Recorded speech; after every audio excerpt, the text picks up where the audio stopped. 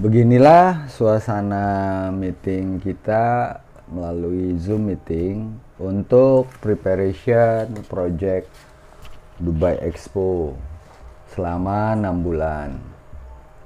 Di sini ada paspor yang kita harus persiapkan beserta data-data administrasi lainnya. Ini sebuah pengalaman pertama saya yang diberikan oleh Om Ciman sebagai project leader di project Dubai ini. Inilah beliau lagi sibuk ngurusin datanya nih. Jadi kita mengumpulkan seluruh data yang dibutuhkan karena ini visanya masuk dalam kategori visa kerja agak berbeda sedikit dengan visa kunjungan atau wisata maka administrasinya harus mendapatkan izin dari beberapa instansi terkait. Beginilah suasana kita mempersiapkannya.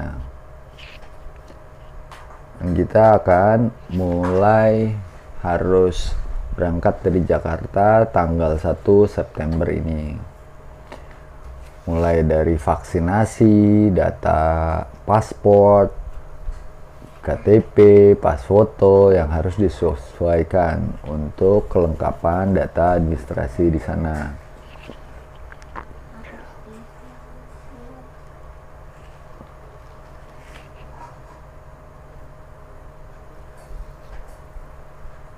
Dan ini saya sedang mempersiapkan administrasinya bersama tim.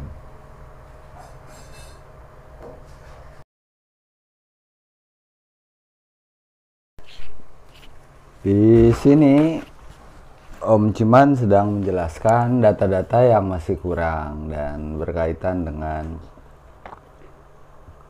kebutuhan kita di sana. Dia menjelaskan bahwa project ini perlu sebuah komitmen 6 bulan nggak bisa pulang dengan 10 hari masa karantina. Dan karena vaksinasi yang dibutuhkan di sana itu adalah AstraZeneca yang dikenal di Dubai sementara kita semua pakai vaksinasinya Sinovac maka kita perlu dua kali vaksinasi untuk mendapatkan izin ke sana. Jadi untuk standar sertifikasinya kita perlu dua kali.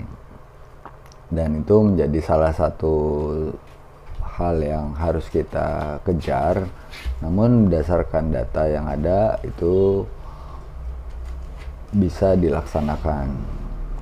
Jadi solusinya ada uh, dua termin pemberangkatan ke Dubai satu tim pertama berangkat dua orang dan satu tim selanjutnya menyusul dua orang dengan 10 hari masa karantina yang diperlukan di sana. Demikian informasi yang dapat saya berikan, semoga bermanfaat.